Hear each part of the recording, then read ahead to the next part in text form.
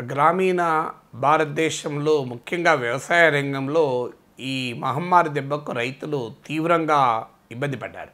Labour షార్టేజ్తోని మార్కెట్కు access లేకుండా తమ ఉత్పత్తుల్ని మార్కెట్కు తీసుకెళ్ళలేకుండా చాలా ఇబ్బంది పడ్డారు. కొన్ని రాష్ట్రాల్లోనైతే ఆహార ధాన్యాల వరకు కొనుగోలు చేశారు. తెలంగాణలో మొక్కజొన్న కూడా ప్రభుత్వం కొనుగోలు చేసిందని ప్రకటించి చేస్తుందని ప్రకటించింది కొంత జరిగింది. కానీ మెయిన్గా ఇవాళ కనీస మద్దతు ధర లేని అలాగే తొందరగా దెబ్బతినేటువంటి పెరిషబుల్ హార్టికల్చర్ ప్రొడక్ట్స్ పళ్ళ రైతులు వీళ్ళు కూరగాయల రైతులు వీళ్ళు తీవ్రంగా దెబ్బతిన్నారు. టమాటా రైతులు మీరు బత్తాయి రైతులు వీళ్ళు తీవ్రంగా దెబ్బతిన్నారు. Perishable agricultural crops. మిగతా వారికి కూడా ప్రభుత్వము కొనుగోలు చేసిన మేరకు కొంతమేరకు కొంత మేరకు లాభం జరిగింది. కానీ ప్రభుత్వం కొనుగోలు పూర్తిగా చేయని చోట ఆ ఇబ్బందులు కూడా ఉన్నాయి. రైతులు ఆశించింది ఏంటి అసలు? స్పష్టంగా రైతులు ఆశించింది ఒకటి ఈ పెరిషబుల్ కమాడిటీస్ను మేము మార్కెట్కు చేర్చలేకపోయాం. రవాణా సదుపాయం లేకపోవడం వల్ల. అంటే తొందరగా దెబ్బతినే కూరగాయలు పళ్ళు ఇలాంటి ఉత్పత్తుల్ని మేము మార్కెట్కు తేలేకపోయాం. దానివల్ల మాకు ఉత్పత్తి జరిగి కూడా మేము ఏమీ చేయలేకపోయాం. మనం మీడియాలో చూసాం సోషల్ మీడియాలో చూసాం. అరటి తోట ఇలా గెలల గెలలు పండు పండు పండ్లు సిద్ధంగా ఉన్నాయి. కోసేవాడు లేడు.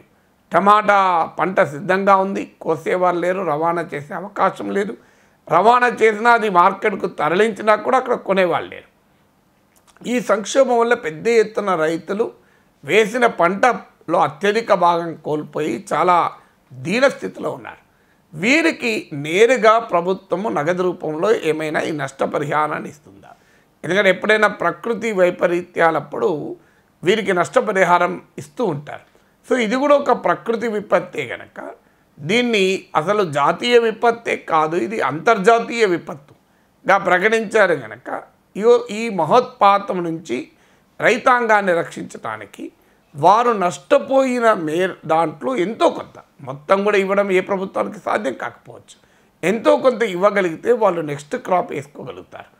మొదలే చాలీ చాలని ఆదాయాలతో అప్పులతో వ్యవసాయం చేసే రైతు ఈ ఈ దెబ్బతో పెద్ద ఎత్తున నష్టపోయారు. ఎందుకంటే కరెక్ట్గా రబీ క్రాప్ మీరు మార్కెట్కి వచ్చే సమయంలో ఈ లాక్డౌన్లు మొదలయ్యాయి. ఇక రెండవది వాళ్ళు అడిగారు ఏంటంటే ఎప్పుడైతే ఈ మార్కెట్లు సదుపాయం దెబ్బతిన్నదో రవాణా సదుపాయం దెబ్బతిన్నదో పెద్ద ఎత్తున ధరలకు కూడా పడిపోయాయి. ప్రైస్ క్రాష్ అయింది మీకు టమాటా రైతు మిర్చి రైతు క్లాసిక్ ఎగ్జాంపుల్. ఏ రకంగా ప్రైస్ క్రాష్ అయిందో. సో ఈ ధరలు బాగా పడిపోయాయి. ఆ మేరకు అంటే కొన్నిటికోమో కనీస మద్దతు ధర ఉండి పబ్లిక్ ప్రొక్యూర్మెంట్ ప్రభుత్వ కొనుగోలు ఉన్న చోట కొంత జరిగింది. కానీ ప్రభుత్వ కొను ప్రొక్యూర్మెంట్ ప్రభుత్వ కొనుగోలు లేని అలాగే కనీస మద్దతు ధర లేని పంటలకోమో ధరలు విపరీతంగా పడిపోయాయి. అందువల్ల ఆ ప్రైస్ క్రాష్ నుంచి కొంతైనా మమ్మల్ని కాపాడండి. ధరల స్థిరీ ధరల కొరకు ధరలు పడిపోవడం వల్ల జరిగిన నష్టాన్ని కొంత పూడ్చండి అని. ఇక మూడోది రైతులు అడిగింది ఏంటంటే నెక్స్ట్ క్రాప్ మళ్ళీ మొదలవుతుంది. సో మాన్సూన్ ఋతుపవనాలు ఈసారి ఎర్లీగా వస్తాయంటున్నారు. సో ఋతుపవనాలు ఎర్లీగా వస్తున్నాయి కనుక మీరు మళ్ళీ వ్యవసాయ సీజన్ ప్రారంభం కాబోతుంది. ఇప్పటికీ ఈ రవాణా వ్యవస్థ దెబ్బతినడం వల్ల విత్తనాలు ఎరువులు ఇలాంటివి సరఫరాలు అగ్రికల్చరల్ ఇంప్లిమెంట్స్ వ్యవసాయ పనిముట్లు కానీ ఇవన్నీ కూడా ఇవాళ పెద్ద ఎత్తున అంతరాయం ఏర్పడింది. సో ఈ వీటి డిస్రప్షన్ను ఆపడము వీటి ధరలు పెరగకుండా చూడడము ఇవి సమయానికి నాణ్యమైన విత్తనాలు కానీ ఎరువులు కానీ లభ్యత చూ చేర్చడం మూడోది అడిగింది నాలుగవది రైతులు ఆశించింది ఏంటంటే డీజిల్. ఇవాళ డీజిల్ పైన ప్రపంచ చమురు మార్కెట్లో ధరలు బాగా పడిపోయాయి. సో ఇవాళ ఇంత భారీగా పడిపోయింది కనుక ఆ బెనిఫిట్ను ప్రజలకు రాకుండా వినియోగదారులకు చేరకుండా కేంద్ర ప్రభుత్వం ఇటీవలనే పెట్రోల్ పైన డీజిల్ పైన పదమూడు రూపాయలు ధర పెంచింది. సో కనీసం ఈ డీజిల్ పైన పెరిగిన ధర రైతులకు వర్తించకుండా కనీసం ట్రాక్టర్లలో వాడే డీజిల్ అయినా సబ్సిడీ ధరకి ఇచ్చేలా ఏమైనా ఏర్పాటు చేసి ఉంటే వ్యవసాయం కాస్తంత ఉత్పత్తి ఖర్చులు తగ్గేవి కదా అని రైతులు కోరాయి.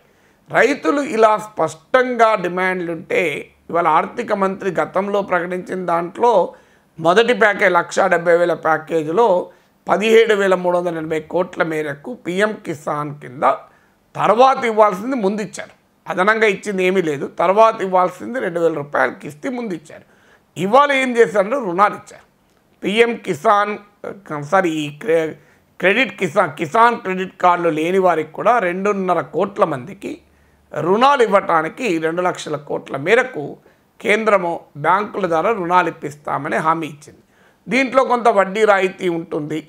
అలాగే ఈ రుణ సదుపాయంలో వడ్డీ రాయితీ ఇప్పుడు వడ్డీ రాయితీ అని కేంద్రం చెప్తుంది. చాలా రాష్ట్ర ప్రభుత్వాలు ఇప్పటికే రుణమాఫీ నా గుర్తున్నంత వరకు పదమూడు రాష్ట్ర ప్రభుత్వాలు ఇప్పటికే రుణమాఫీ పథకాన్ని అమలు చేస్తున్నాయి. వడ్డీ రాయితీ పథకాన్ని అమలు చేస్తున్నాయి. జీరో ఇంట్రెస్ట్ సున్నా వడ్డీ రుణాలకు కూడా రాష్ట్ర గతంలో మనం విన్- చూసాం అందువల్ల ఇవాళ అయినా కూడా కేంద్రం ఆ మేరకు కాస్తంత రుణ రుణ సదుపాయం పెంచి వడ్డీ లే వడ్డీ తక్కువ చేస్తే ఆ మేరకు లాభం. కానీ అడిగింది ఏంటి? ఇమీడియట్గా తీవ్ర స్థాయిలో ఆర్థిక నష్టాన్ని చూసిన రైతులకు ఆ సహాయం కోరితే మీకు అప్పిస్తామని చెప్పారు. ఇప్పుడు అప్పివ్వడం అనేది రైతుకు పరిష్కారం కాదు. ఉపశమనం మాత్రమే. కాస్తంత ఉపశమనం. అది కూడా పూర్తి ఉపశమనం కాదు. అప్పు మళ్ళీ కట్టాలి కదా. అప్పు అప్పు మళ్ళీ మాఫీ అయితే తప్ప కట్టాల్సిందే. అందువల్ల రైతు డిమాండ్లను మౌలికంగా ఆర్థిక మంత్రి ఇవాళ ప్రకటించిన ప్యాకేజీలో మనకు కనిపించలేదు.